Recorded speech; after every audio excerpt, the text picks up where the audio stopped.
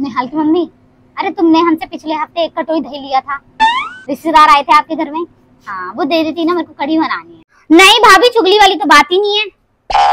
अरे हम दोनों सब्ज़ी लेने गए थे सोमवार मार्केट। हाँ तो मैंने आपके दस रुपए दे दिए थे। नहीं, आप चाहती तो मुझे पेटीएम कर सकती थी ना। हाँ लेकिन आपको देने ही नहीं है मेरे पैसे। नहीं, आप दे के जाओ मुझे अभी। नहीं, दीदी, काम वाम कुछ नहीं कर रही हूँ। अरे उनकी चड्डी में बारह छेद हो गए वही सिल रही हूँ।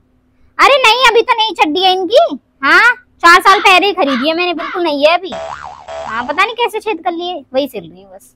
नहीं भैया मैंने चालीस रुपए किलो आलू लिए हैं। नहीं आपको धनिया मिर्च तो फ्री में डालना पड़ेगा मुझे कुछ नहीं पता। अरे मैडम मार्केट में पता कीजिए पचास रुपए किलो चल रहे हैं और आपको धनिया मिर्चा फ्री में चाहिए। अरे नहीं और भी यहाँ फ्री वाले आते हैं मैं उनसे ले लूँगी आप अपने आलू ले जाइए मेरे पैसे वापस कीजिए। अरे मैडम आप तो क्या आप तो वरना धनिया मिर्ची फ्री में देके जाओ वरना जाओ यहाँ से।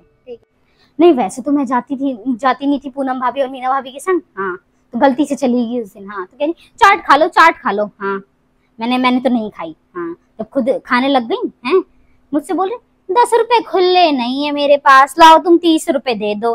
मैंने कहा, मैं क्यों दूँ तीस रुपए? खुद खाया, खुद दो। अच्छा भाभी, क्या चाहिए? सौ रुपए चाहिए? अरे भाभी, इतने ही पैसे देके जाते जितने की मैं सब्ज़ी खरीद सकूँ। सौ रुपए तो नहीं होंगे मेरे पास। मीना भाभी? अरे वो पूनम ना एक कटोरी आटा ले गई थी। नहीं नहीं, आटा नहीं चाहिए, कटोरी चाहिए। हाँ दे देती तो अच्छा होता ना।